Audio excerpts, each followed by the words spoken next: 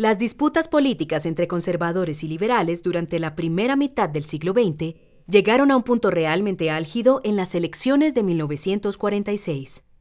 En este momento histórico, las figuras de Jorge Eliezer Gaitán y Laureano Gómez surgieron como representantes de las facciones sociales que estaban en tensión, los terratenientes conservadores y las fuerzas laborales y de clase media en las ciudades. La desigualdad y las condiciones de pobreza de gran parte de la población generaron una fuerte crisis social que se vio reflejada en los discursos de los representantes de los partidos.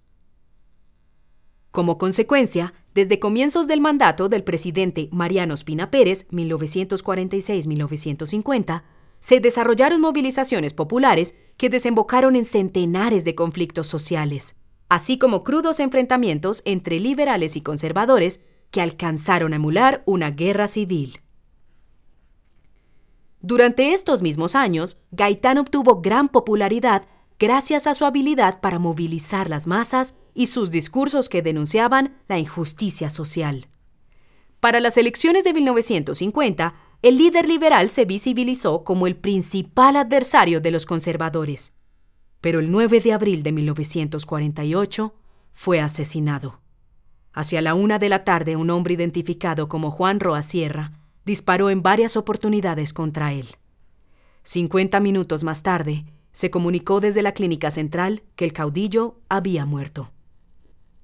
La muchedumbre encolerizada terminó por asesinar a Roa Sierra, señalándolo como el responsable.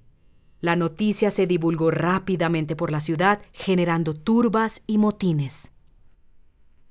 Informados por la radio, los ciudadanos se dirigieron en masa al centro de la ciudad, buscando llegar al Palacio Presidencial para que el presidente Ospina se pronunciara sobre el asesinato.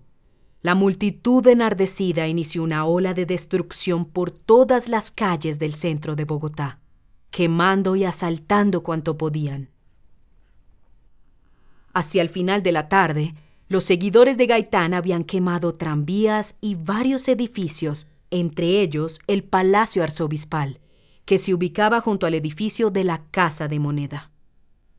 Antonio María Barriga, entonces director de la Casa de Moneda, logró evitar los ataques al edificio utilizando el cloro concentrado que usaban para la afinación del oro.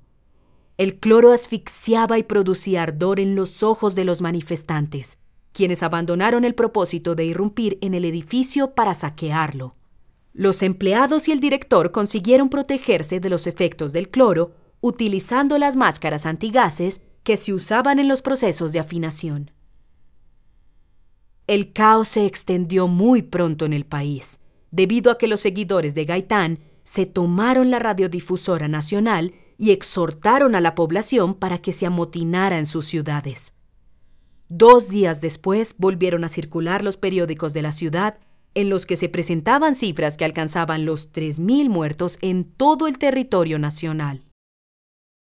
Cerca de 80 años después del asesinato de Jorge Eliezer Gaitán, el país todavía vive los devastadores efectos del magnicidio.